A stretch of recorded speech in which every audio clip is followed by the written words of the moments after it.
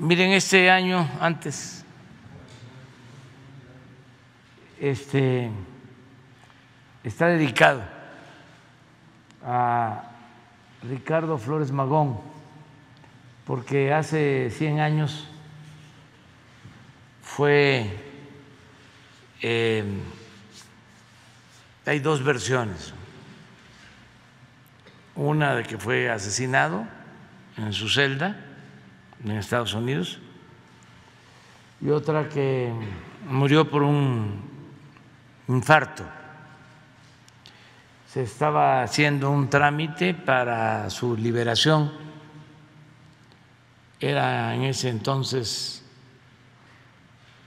Álvaro Obregón, presidente de México. Ricardo Flores Magón, sin duda el dirigente social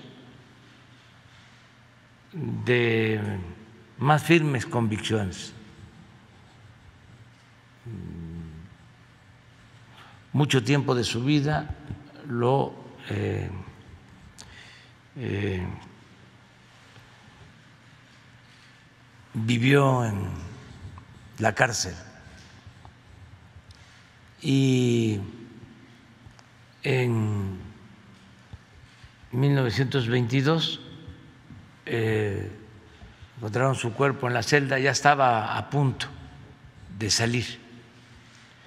Se trajo su cuerpo para que tengamos una idea de la importancia de este dirigente, que fue de los precursores de la Revolución Mexicana.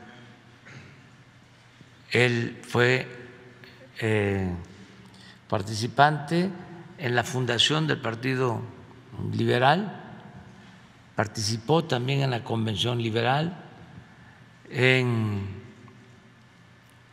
1904, en pleno porfiriato, eh, con el periódico El Hijo del Aguizote, se manifestaron en contra de Porfirio Díaz y aquí cerca, donde estaba la imprenta del Hijo del Aguizote, eh, un 5 de, febrero, eh, pusieron una manta eh, que decía la revolución, la constitución ha muerto. Y a partir de ahí decidieron irse a Estados Unidos para protegerse y seguir luchando y allá el movimiento magonista pues creó el periódico Regeneración y eh, formaron cuadros, enviaban el periódico a las fábricas, los trabajadores que iniciaron la huelga de Cananea en 1906 tenían formación magonista. Los dirigentes de esa huelga eran magonistas. Esteban Vaca Calderón y otros. Eh, en 1906 escriben eh, el plan liberal, que yo lo recomiendo, porque es vigente.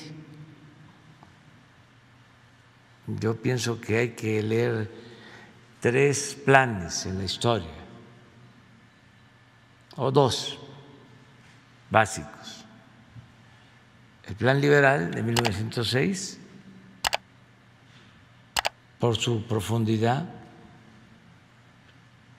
eh, el plan seccional cuando iniciaba el presidente Cárdenas la presidencia de la República y agregaba otro que es el plan nuestro. Pero dejemos ese aparte, ¿no? Pensemos en este plan de 1906, eh, luego por las circunstancias, porque los encarcelaban los querían asesinar.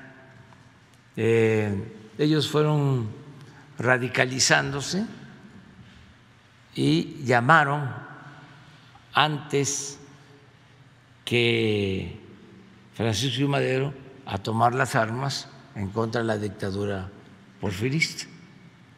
Desde luego, antes de ellos ya había llamado a tomar las armas otro dirigente, que no hay que olvidar, Catarino Garza, en 1892